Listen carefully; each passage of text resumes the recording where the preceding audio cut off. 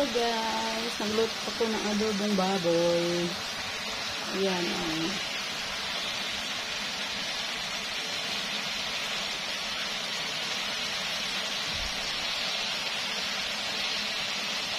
Ayan, guys.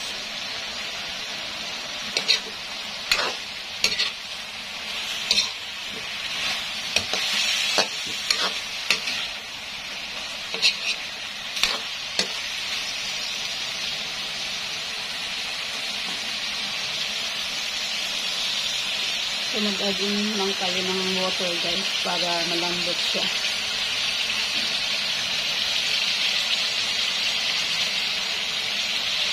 Nilagyan natin ng water, guys. Yan. Ano mo natin.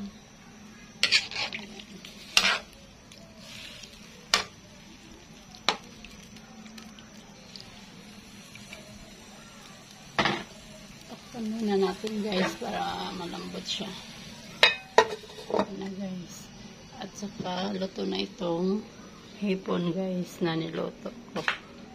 Ayan na.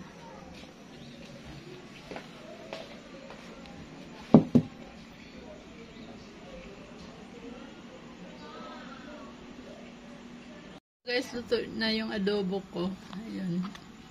Adobo minatamis.